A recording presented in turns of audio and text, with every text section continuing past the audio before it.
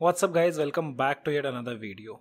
In this video we'll show you guys how to fix all the issues related to ADB drivers, fast boot, Qualcomm drivers because I've been seeing lots of comments that people have been facing issues while flashing stock firmware on their devices or their PC doesn't detect their device in ADB mode or fast boot mode. So in this video, we'll cover almost everything. I hope you guys gonna like this video. So let's not waste much of time and start with the process. So guys, basically this process will fix all the issues related to ADB drivers or your fast boot mode. And if you're using Unbrick tools to flash stock firmware, then just make sure to watch the complete video. I hope you won't face any kind of issues after that. First of all, you need these files. All the files can be found in the description below. So the major one is ADB setup, which is ADB drivers. Then we have fastboot drivers, later followed by Qualcomm drivers, which are required if your device doesn't get detected in the Unbrick tool. Later we also have platform tools. So first of all, what you need to do is extract all the zip files.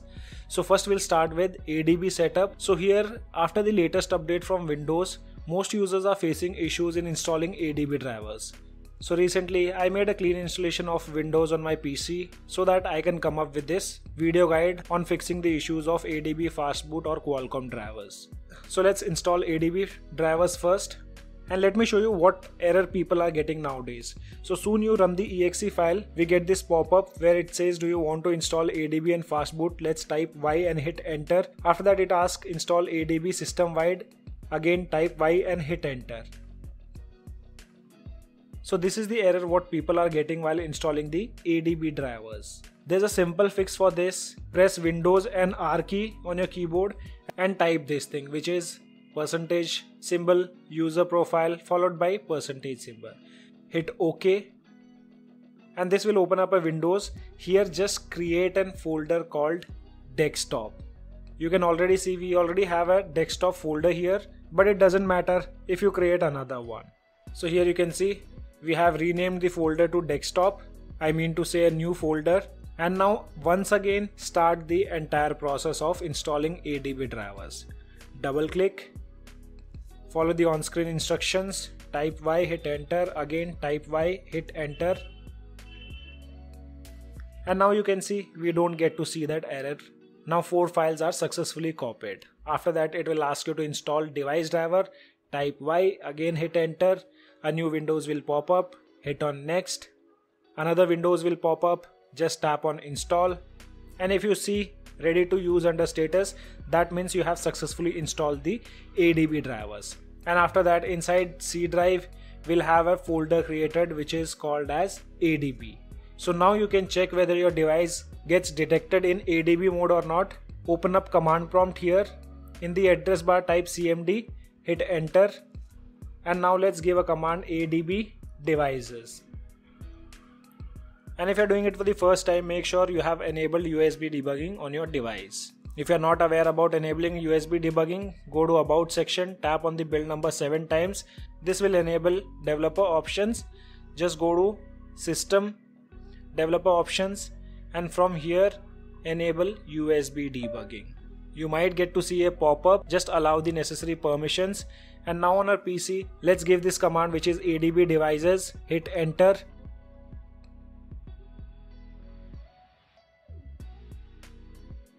and there you can see serial number of my device appears here that means my device is properly connected in adb mode no issues with the adb drivers anymore so this way you can install adb drivers on your pc running windows 10 or windows 11 whatever you have it on your pc now let's move on to the fast boot drivers. So first let me open up command prompt once again and show you guys whether my device gets connected in fast boot mode or not. First I'll reboot the device in fast boot mode. For that again what you can do is from developer option you can enable advanced reboot then long press the power key. You'll get these three dots on the right top corner. Tapping on it will give you an option of bootloader. Let's reboot a device to bootloader which means fast boot mode. So device successfully booted into fast boot mode. I have already connected the cable. Now let's give a command fast boot devices and hit enter. So here you can see we don't get to see anything over here in the command prompt. That means fastboot drivers are not properly installed. To install fastboot drivers, open up device manager first and soon you open up the device manager. Here you can see under other devices we have an option of android but you get to see this yellow triangle. Now what you have to do is right click and tap on update drivers. But before that make sure you have extracted the fastboot drivers zip file. So let's right click update drivers select the second option which is browse my computer for drivers. And after that tap on browse locate this folder which is fastboot drivers. Just locate select the main folder and make sure you have enabled include subfolders. That's it. Tap on ok and hit next so there you can see we have successfully installed android bootloader interface. Now if you take a look in the device manager we don't have any triangle under android phone. Now let's check in the command prompt by typing fastboot devices and hit enter. And there you can see the serial number of my device appears here. That means our PC now started to detect a device in fastboot mode or you can say fast boot drivers have been properly installed. So these are the two ways by which you can install ADB drivers and fast boot drivers. And now let's move on to the next topic which is installing Qualcomm drivers. So again unzip the file, open this folder and here you'll have a setup file just double click on this run the setup select the first option from here hit next next agree to terms and conditions next and tap on install.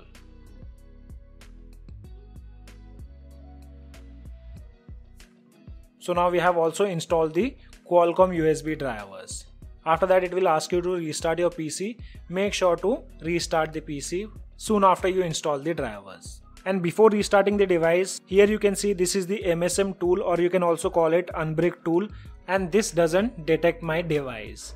So I'll tell you how to fix that also first let's exit and restart a device once because we have recently updated the Qualcomm drivers and after installing Qualcomm drivers it is required to restart the device so now we are done with the successful reboot of a PC. So first let me open up again device manager. Along with this, let's also open up the MSM tool aka unbrick tool. And still here you can see after the reboot also we don't get to see anything under index or com. Now let's connect a device into emergency download mode which is also called as EDL. For most of the OnePlus devices, combination is you just need to hold volume up and down key. First make sure your device is powered off and you have sufficient battery on your device. After that you need to press and hold volume up and down key together. Once you press and hold the keys, then connect the cable to your device.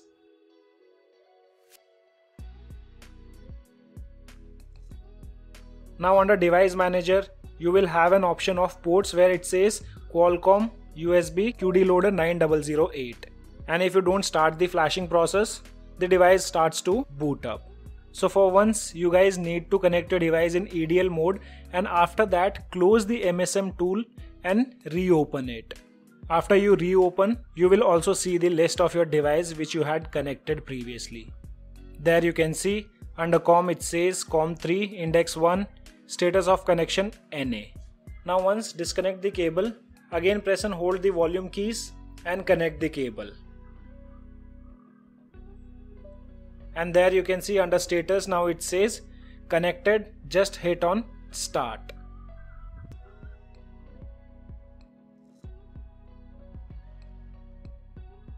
and there we go unbrick process have been started now and I've also seen most of the users gets that Sahara communication error. So guys just make sure your all the drivers are up to date like fastboot, ADB and Qualcomm.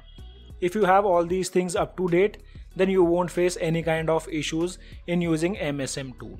And with the help of MSM tool, you guys can fix any of your OnePlus phones until unless there is an hardware damage.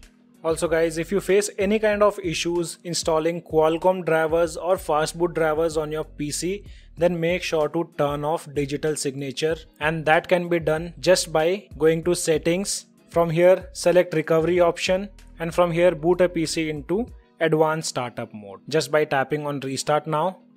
Once you tap on restart, you'll get these options from where you have to select troubleshoot, advanced options, startup settings, and again tap on restart. After that you'll see these options where you can see we have the seventh option which says disable driver signature enforcement. And to select these things we need to use the function keys. As it's on the seventh number, we'll tap F7 on the keyboard and that will disable the driver signature. And this you need to do only when you're not able to install Qualcomm drivers or fastboot drivers. If without disabling digital signature things are fine, then no need to make changes in the startup settings. So guys, this is a single video where you can find all the fixes related to ADB, fastboot, Qualcomm and even disabling digital signatures from your Windows PC. I hope you guys will like this video and also share it with your friends. So guys, as of now only this much in this video. I hope you guys like the video. If you like the video then do give me a thumbs up. And also if you're new to our channel then do not forget to subscribe the channel. Thanks for watching. Have a great day.